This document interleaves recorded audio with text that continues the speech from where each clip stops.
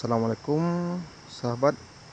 Nah, ini saya berada di lokasi tempat ya kebun kelapa.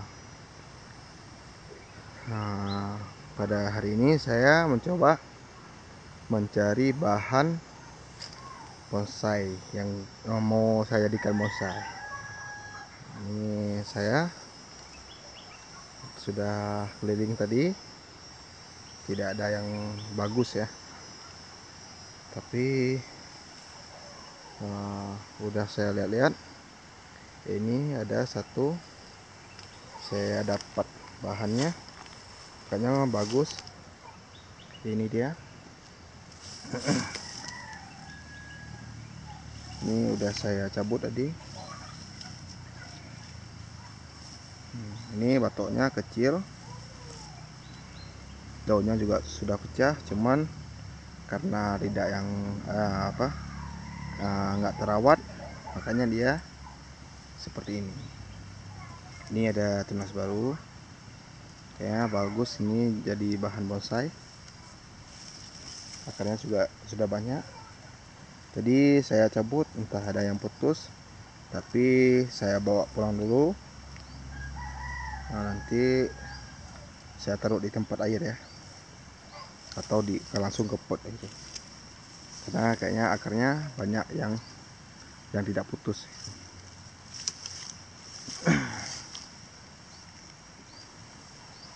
Ini juga ada tapi ini kurang bagus.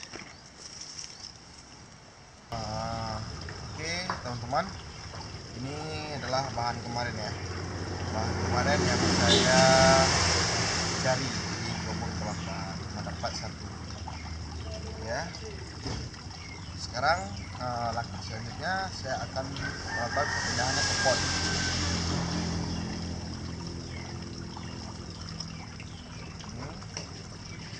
ya sekarang saya coba melakukan kupas dulu. Kupasnya setengah aja ya. Nah setengah aja. Kalau kita kupas ini takutnya nanti uh, akarnya putus. Jadi saya kupasnya setengah-setengah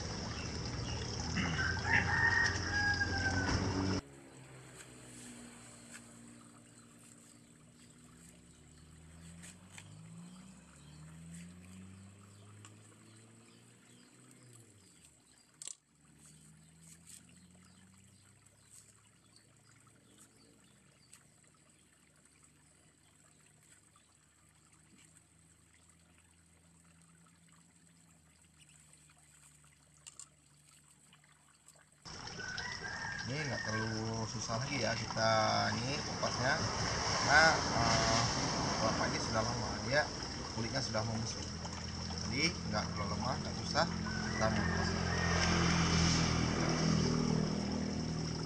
oke sini aja. Jadi langkah selanjutnya kita bersihin ini yang sudah kering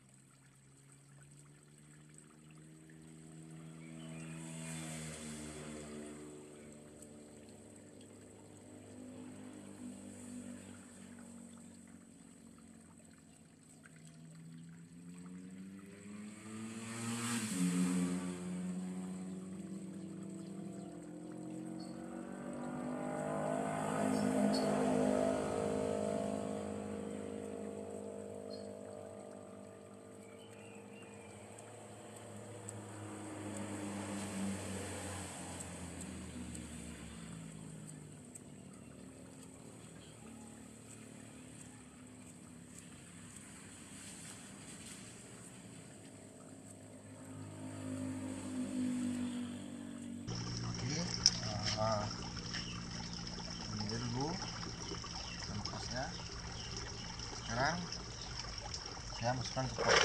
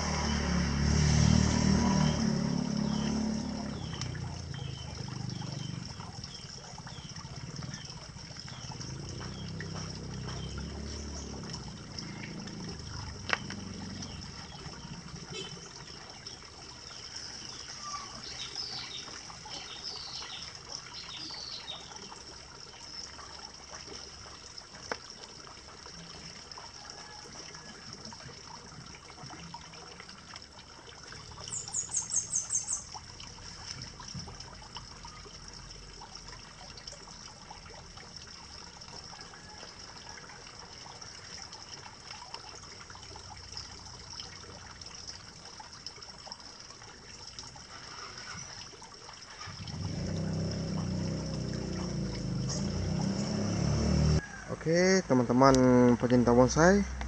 Nah inilah hasil perpindahan tadi. Ini dia. Ini batoknya kecil ya. Ini pun uh, Sudah lama dia. Sudah lama karena uh, kulitnya pun sudah membusuk. Jadi yang sama satu ini. Ini masih Emang batangnya lebih besar yang ini. Tapi mungkin tempatnya ya Tempat pemusukannya agak terlambat coba setengah aja jangan dikepasnya. Ini yang pelepah yang di atas ini enggak saya bersihin dulu mengingat uh, untuk uh, pemulihan akar dulu. Uh, nanti setelahnya baru mungkin sekitar satu minggu atau dua minggu baru saya bersihkan ini pelepah ini. Ini uh, saya tunggu dulu untuk pemulihan akar Oke teman-teman uh, terima kasih telah menyaksikan video saya. Jangan lupa berikan komentar like dan subscribe channel saya Teguh Rijal DC uh, terima kasih. Assalamualaikum warahmatullahi wabarakatuh